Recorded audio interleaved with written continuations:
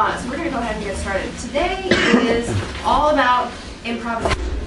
So how many people have improvised before and feel relatively comfortable with it? How many jazz ed majors do we have here?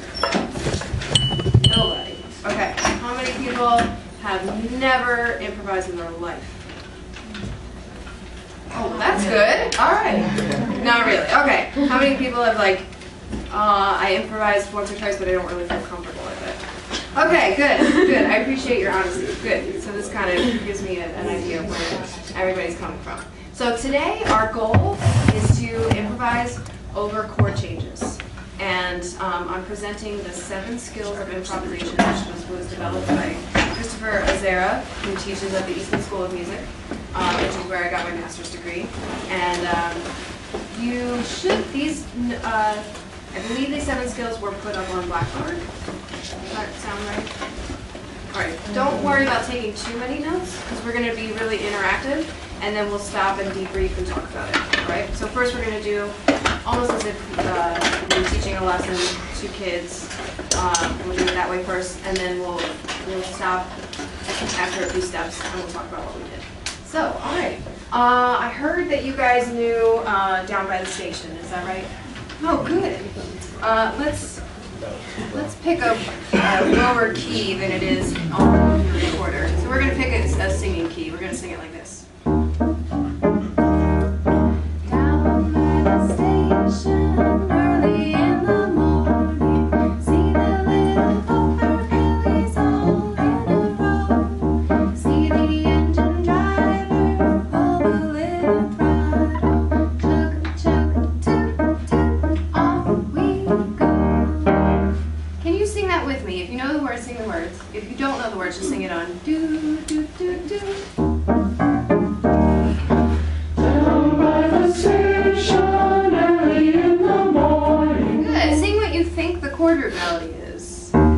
term is familiar in here, yes? Okay.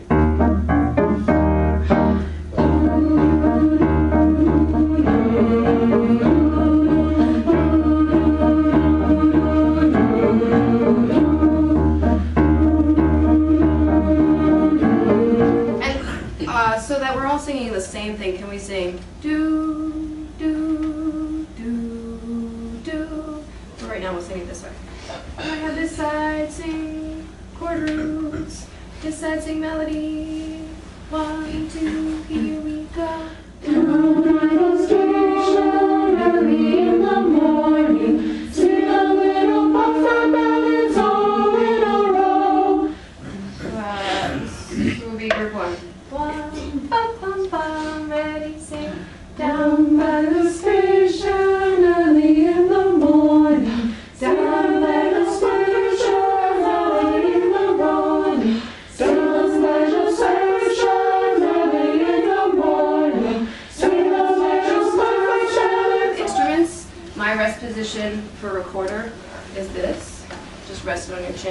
So if everybody can go to rest position and. Make sure your left hand is on top. Make sure that your fingers are covering all the holes. Make sure your right hand is on the bottom and the fingers on your right hand are above where they live. You don't want your fingers down here. You don't want them out here. You want them right above where they live on those holes. Uh, how, how many times played this song? Is this song very familiar, a little familiar, or not familiar at all on recorder? How many people say very familiar? How many people say a little familiar?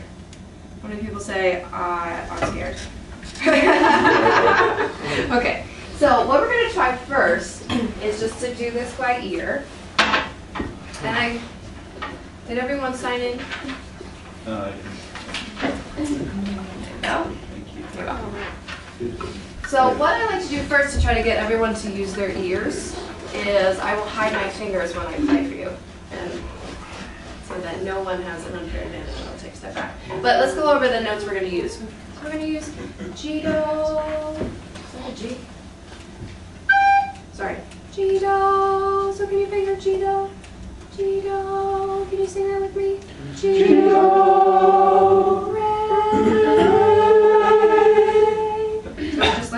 one finger, so now we have thumb, one and two.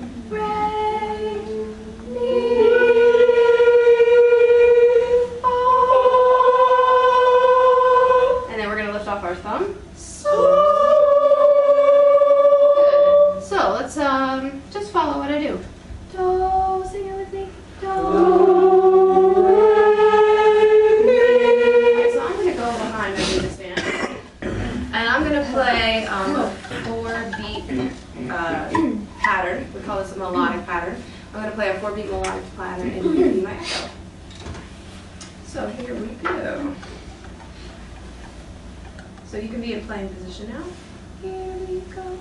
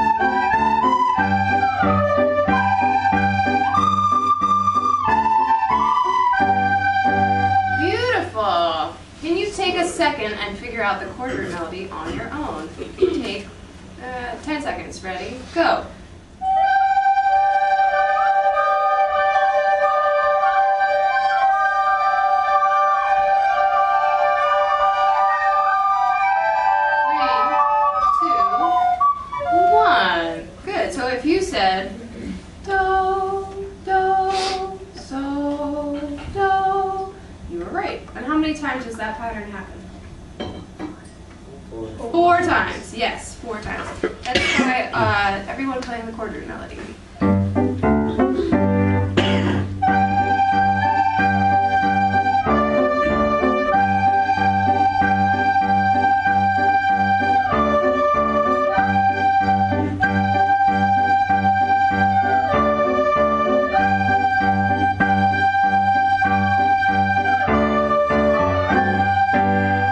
Beautiful. All right. Uh, let's split in half again. Let's put Let's a different way. Um, everyone in the back row, and maybe up to here. Uh, will you do the melody? And this front front row do the roots. And then get ready to switch after uh, one chorus. Are you ready? Place your fingers for do, G do. Great.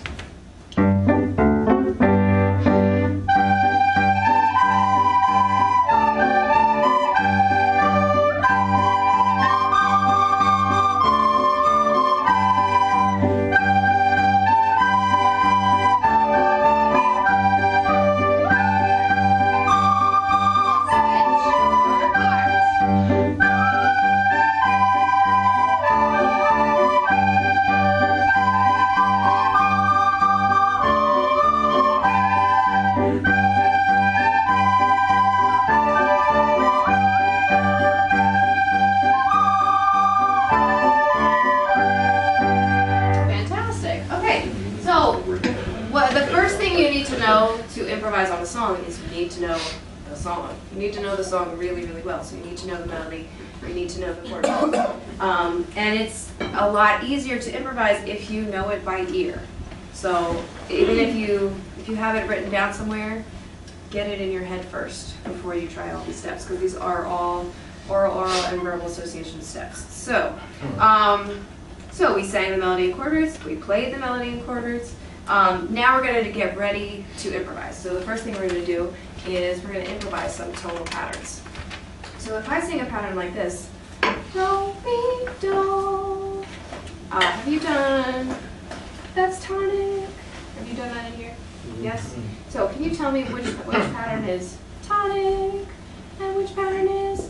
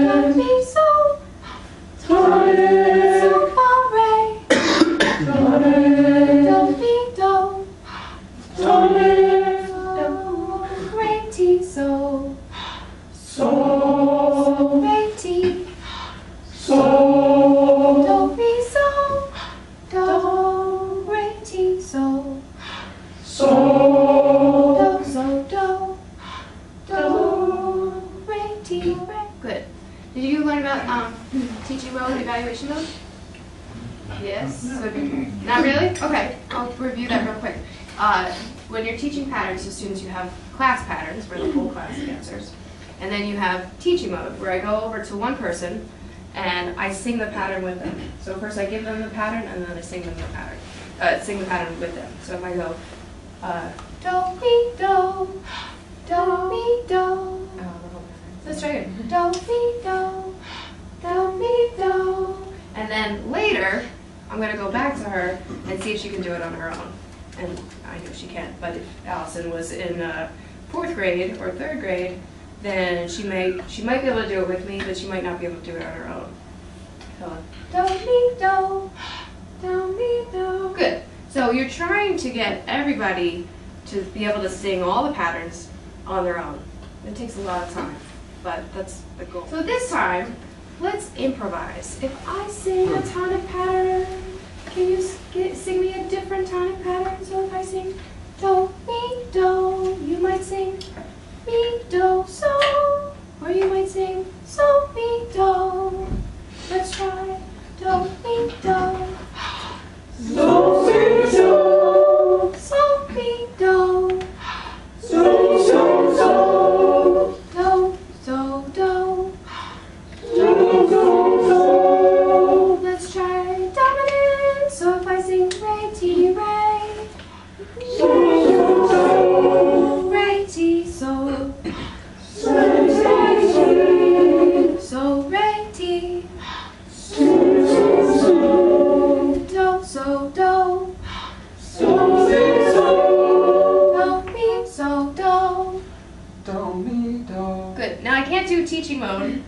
Improvisation because I don't know what he's going to say. Can still have to think of it. So you have to do evaluation. Uh, do, so, do. Do, mi, so. Re, ti, so. So, re, ti. So, so, so. Do, so, do. Oh, sorry. That's all right. Try it. Do, mi, do. Nice. Too badly. All right. So place your fingers for G do. If I give you a pattern of do, mi,